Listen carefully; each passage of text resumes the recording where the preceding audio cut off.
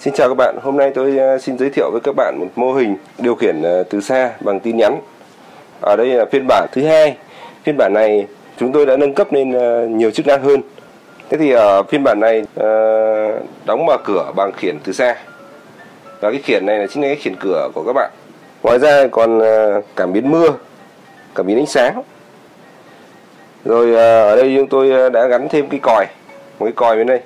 Cảm biến đây là cảm biến mưa Đấy, và ở đây tôi sẽ làm hai cửa. Cửa thứ nhất cửa thứ hai. Cửa thứ hai tôi làm rồi thế nhưng mà vì là sơ suất đâm ra là nó lại hỏng mất cái cửa thứ hai thì tôi sẽ thay cái cửa thứ hai bằng công tác hành trình. Là coi như là đóng vào mở ra. Còn đây cửa này cũng có thanh từ ở đây. Vậy thì hôm nay tôi ờ, giới thiệu các bạn phiên bản thứ hai này. Nó có chức năng là báo động cửa dưới cửa, cửa trước cửa sau này. Và báo động trên này và điều khiển đóng mở cửa trên bằng ờ, khiển từ xa ngoài ra thì ờ, ờ, có chế độ tự động. Chế độ tự động là sẽ bật cảm biến mưa và cảm biến sáng. Thì khi mà trời tối sẽ tự động nó đóng vào. Và khi trời sáng thì tự động mở ra. Và khi trời mưa thì tự động đóng vào. Khi mà bật chế độ còi thì một trong ba cửa này bị mở thì còi sẽ kêu và chúng ta sử dụng một cái tin nhắn để tắt cái còi. Và bây giờ tôi sẽ hướng dẫn các bạn à, cách hoạt động của nó. Ở đây thì à, có một chức năng nữa là cái chức năng báo mất điện. Đó, thì đây là cái nguồn à, 12V 220V xuống 12V để báo mất điện. Và cái này tôi sẽ cắm vào nguồn điện 220V cái đèn đỏ này nó sáng tức là thể hiện là đang có điện lưới còn một cái nguồn nữa là tôi sử dụng cái nguồn này để cung cấp điện cho cả hệ thống. Tôi sử dụng nguồn 5A tôi đã cấp à, điện cho hệ thống. Thì à, cũng như phiên bản trước thì phiên bản này cũng thế. Khi cấp điện cho hệ thống sẽ có một tin nhắn báo về điện thoại cho chúng ta. Các bạn đợi mắt. À, các bạn à, đã nhìn thấy. Ở đây có tin nhắn đã gửi về. Báo tin nhắn online bây giờ hệ thống đã đang hoạt động rồi. Ở phiên bản này, chức năng à, tự động báo động à, auto là tự động mưa này và ánh sáng sẽ là pop. Tức là khi mà chúng ta cấp điện đầu tiên vào, chức năng này không hoạt động ngay. Mà chúng ta muốn cho nó hoạt động thì chúng ta phải à, thao tác là chúng ta bật chức năng tự động. Là tức là auto on.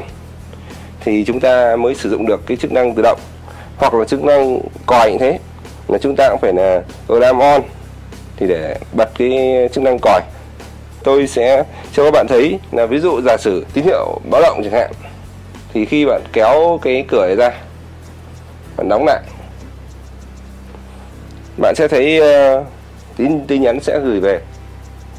Chúng tôi chờ tin nhắn báo động cửa trên bị mở. Tương tự như vậy thì uh, các cửa này cũng thế cũng sẽ báo động cho chúng ta một cái tin là báo động là khi nó mở ra và bây giờ tôi sẽ nhắn tin đưa gửi tín hiệu qua cái ờ, cái khiển từ xa này và sẽ đóng cửa này. Thế thì ờ, trong cái phần động cơ mà tôi sẽ sử dụng cái tay để tôi kéo. Bây giờ các bạn sẽ soạn một cái tin là mở cửa. Mở cửa. Và tôi sẽ gửi. Khi tôi gửi một cái tin đến xong các bạn chú ý xem cái cái đèn của cái khiển này. À, cái đèn này cái khiển này đã, đã khiển. Giả sử tôi sẽ mở cửa khi mà cửa đã đóng hẳn về phía kia, thì lúc đó nó sẽ gửi cho chúng ta một cái tin nhắn, đã đóng cửa xong, đã đóng cửa xong. Câu lệnh này nó hơi ngược một tí, thì tôi sẽ sửa lại câu thông báo. Là khi nó mở ra, nó chạm vào cái cảm biến từ bên này, thì nó sẽ báo rằng là đã mở cửa xong. Bình thường là khi mà mới bật nguồn lên, thì chức năng này chưa hoạt động. Ờ, chức năng auto nó chưa hoạt động. Bây giờ bạn sẽ chuyển sang cái chức năng auto on. Auto on. Bạn gửi. Sau khi bạn gửi auto on xong, thì lúc đó cái chức năng ờ, cảm biến mưa, cảm biến sáng nó mới hoạt động.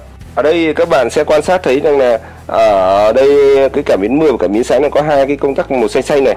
Thì hai cái này để giúp chúng ta điều chỉnh cái độ nhạy của cái cảm biến.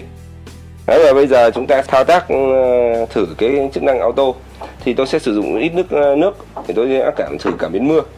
Thì tôi sẽ cho một ít nước vào cái phần cảm biến mưa đấy. Đấy. Thì các bạn sẽ quan sát thấy đèn nó báo. Tức là nó báo nó khiển đóng. Và tôi sẽ đóng nó lại.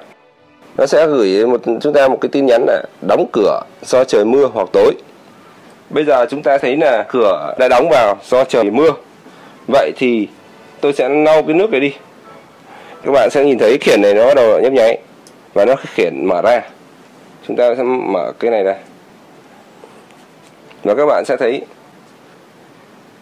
phần tin nhắn nó phản hồi về.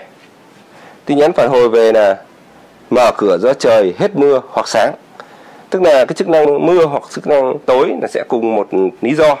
Và chức năng ờ, trời sáng với chức năng ờ, trời tạnh cùng một lý do và đấy là cái chức năng để ờ, auto. À, ngoài ra một cái chức năng nữa đó là chức năng còi. Để bật được cái chức năng còi thì chúng ta soạn thêm một cái cú pháp là alarm on.